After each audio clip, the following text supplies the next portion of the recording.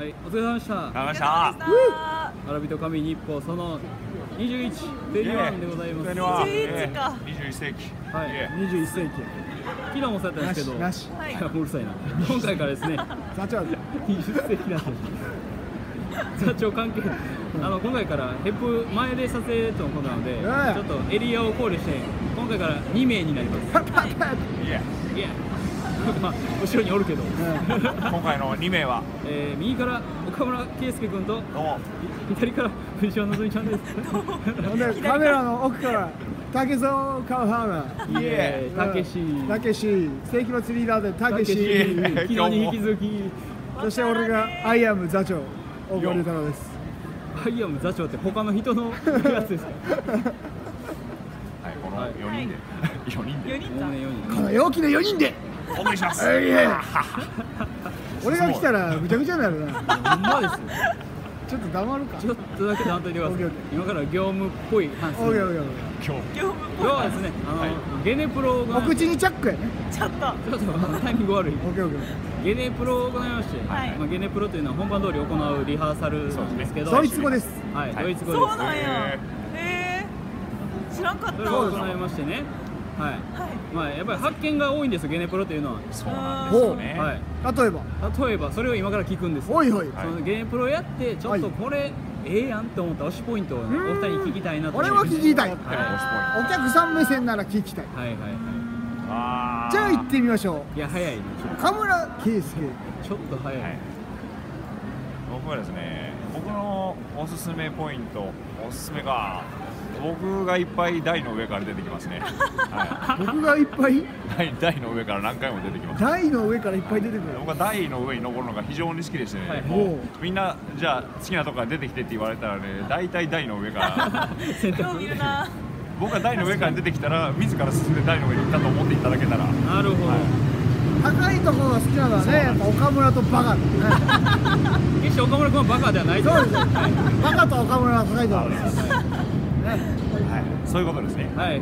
何回も見た人は見つけてもらえたら、そうですね。はあバカと岡村が出てきたなって思ってもらったらね。これ以外の人出にくいじゃないですか。何台もありますから台は。ね僕以外の人は。いバカみたいな。ゲネやってそれか。魅力。もう言いたいこと言えないよね。ポイズンだな。ポイズン。マジ。ほんまにねポイズンなんですよ。マジポイズンだ。ポイズンですね。アラビト難し神いな。何を言ったらいいかな、はなんかねどのおすすめポイントを喋ってもねじゃあこの流れで。なんか引っかかりそう感ありますよね。藤井ちゃん行ってみましょう。はい。え私あの冒頭ええ。ちょっと寝てないんですよ。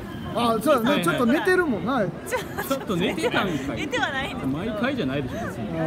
頭からうんのちょっとをうん場当たりの時に前から見たんですけど、はいなんか4ヶ月見てきた人からしたら結構なんかあ始まり方ちゃうかなって思いました、はいはあなんかグッとくるなって冒頭の感じが。私冒頭はねあのー世界一高いクリスマスツリーを運んでくるとこから始まるんですけれども、何の話？うん、うはいはいはい神戸のね震災のね。はいあのすごい問題になってますけど。それはすごい社会。え？アラビとかそういう話でしたっけ？あ間違えてましたね。社会風刺始まっちゃった、そうですね。ええ。怖い怖い怖い。間違えてましたごめんなさい。急に現代劇が全然わか世界一高いクリスまマスツリー。まあまあファンタジー要素多めの話。はい。クリスマス気分でね浮かれてました。もう間近ですからね。間近ない間近でございますプレゼント欲しいな。魅力がもう全然伝わってけへんわ。もう邪魔邪魔で。ほんま。ほんま。なんやあの人。邪魔しかせえへんまあそのね魅力が伝わったかどうかは定かではないんですけど、はアラビトカミですね。あの当日券ちゃんとある。そうですね。はいあるんです。出ますよ、はい。諦めずにちょっと来てほしいと思ってるんです。よもうご予約は明日の15時もあと20時もちょっと終わってしまってるんですけれども当日券はどちらもまあまあしっかり出ますんであの、はい。具体的に言うと10以上は出ます、はい。なので全然どしどし来ていただけたらなと思っておりますので。見逃してほしくないですよ、はい。本当にもしなんかいっぱいになってしまったっていう場合だけ抽選とかにはなるんですが、もう普段の一撃や公演ならあのその当日券の枚数だったら全然はい。来ていただいただけ入れるだろうという感じですのではい。ぜひぜひ来ていただけたらなと思っております、駆け込みヘップしてもらったら。いやーでもとにかく初回に見に来てほしいですよね。もちろん初回ほんまに。初回に見てこればっかりは。我々と一緒にポイズンになってもらいたい。いやポイズンになってこの気持ちを早く共有したい。ねいや本当に。皆さんとねあポイズン流れてきた。ジャスラックに引っかかるなこれ多分やばいやばいごめんごめん。引っかかる。危ない危ない。日本音楽著作権協会へ。正引っかかっちゃうよ。関西支部に毎月提出してますけども。はいはい。また現これの実的な話申請。6秒ぐらいになっちゃうしょうもない。ごめんなさい。口笛やからね。まあまあいけるでしょ YouTube さんも「んはうんあ音程まあ厳密には外れてるか」ってなる危ない危ない。はい。はい。というようなはい感じでございます。はいえちょっと待って。竹蔵の推しポイント聞いてへんけど。お僕の推しポイント。うん個人的なで言うと、はいはい。やっぱり僕がすぐバチ当たるところをね。ああ僕もねそこはめちゃくちゃ面白いんですよ。ほんまねなんかついでみたいに死ぬねん。えお あこいつ嫌あいや死んだ。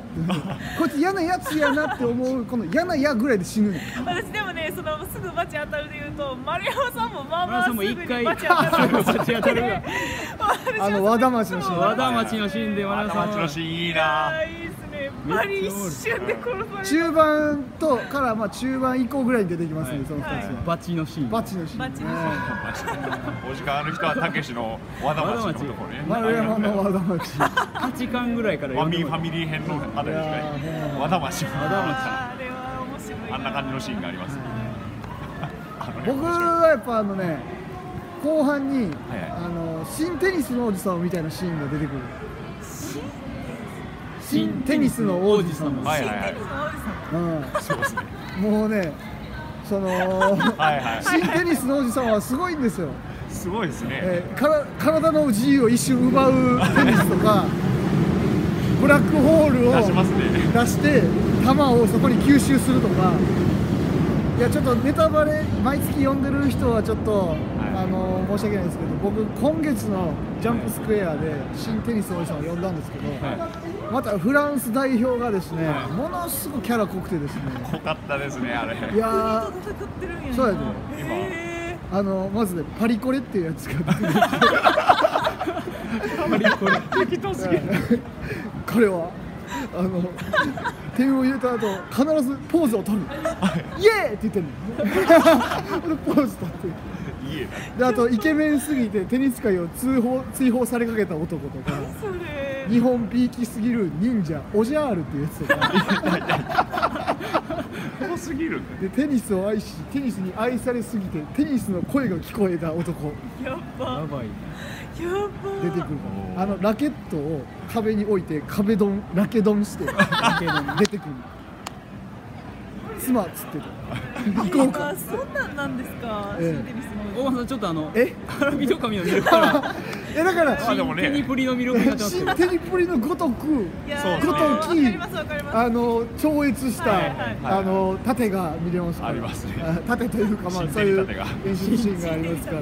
新テニシーンありますんで竹村さんも一回ツイートでちょっとファンタジーすぎるかもみたいなこと言ってたんでいやいや。いやそこ。あでもまあ音章入るとやっぱり説得力がありました、はい今日見たら、でもやっぱ稽古場ではもう新テニスの王子様やってたいやー間違いない。うん。なんか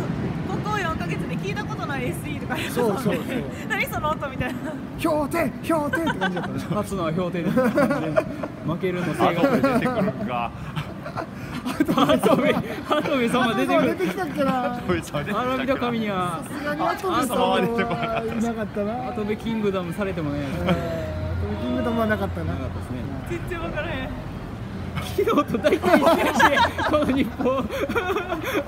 大体一緒やんけ大川さんおるから。明日帰ろうかな。そうですね。あそうですね。もう10分近くなるんでもう。長くなってしまった。はい。とにかく明日も当日券バリバリ出ます。はい。出ますので。ぜひお楽しみにしていてください、はい。じゃあまごた。明日予約してる人もお楽しみに。はい。明日頑張るぞ。イエーイ